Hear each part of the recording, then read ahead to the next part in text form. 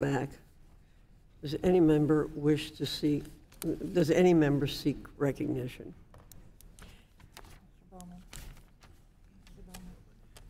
Ah, Mr. Bowman, you're recognized for five minutes. Thank you, Madam Chair. Uh, I would like to strike the last word. You're recognized for five minutes. I would like to speak in opposition uh, to this amendment for several reasons. Uh, number one, uh, since New York City has been mentioned multiple times, and since my background is as an educator in New York City schools, I just want to highlight for everyone in the audience and my colleagues across the aisle that New York City is what we consider a Title I district. It's a school system that cannot survive without the Title I funds that come from the federal government.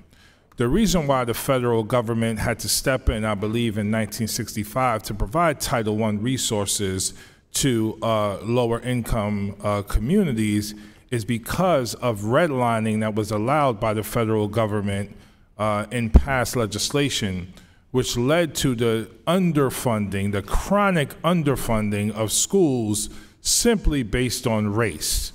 If you were black or Latino in a particular community, your schools were underfunded, while schools in white suburban communities that had access to federal funds to buy housing, those schools received additional funding. So now this amendment seeks to double down on prior racist policy by implementing present day racist policies in targeting of Title I school districts.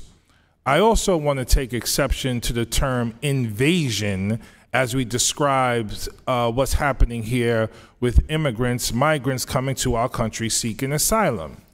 There's a long history of that word invasion being used to describe migrants, particularly from Latino countries coming into our country by white supremacists in their fear mongering around the arrival of immigrants in our country. So I take incredible exception to that word invasion. We are not being invaded. People are coming here to seek asylum, as is the history of the United States. Much of this anti immigrant rhetoric and policy is aligned to something called the Great Replacement Theory, which was condemned by this Congress in last Congress, and I am proud to be the author of that resolution. The Great Replacement Theory states that the white race is under attack by blacks, Jews, and immigrants, and we must do something about it. And many of the mass shooters in our country have identified the great replacement theory as being the motivating factor to their mass shooting, including the Buffalo mass shooting, mass shooting in upstate New York. So the hateful, divisive rhetoric is in the resolution. The hateful, divisive rhetoric is a part of one of the amendments the hateful, divisive rhetoric is historical as per redlining, and the anti immigrant sentiment is directly connected to the Great Replacement Theory.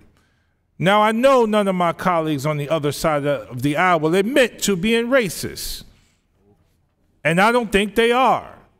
But when you look at the rhetoric, and you hear the talking points and look at the legislation that's put forward, what are we to say? The gentleman will suspend. I want to remind the gentleman that you cannot engage in characterizing uh, the other members' positions or, or calling their um, position, in, engaging in personality characterizations. Thank you, Madam Chair. It's just very frustrating because it seems like the legislation itself engages in personalities when it refers to a group of people that is derogatory. So if the legislation is doing it, and we're using words on the other side of the aisle like invasion, as if it's an army coming to our country, is that not personalities? Thank you, and I yield back. The gentleman yields back.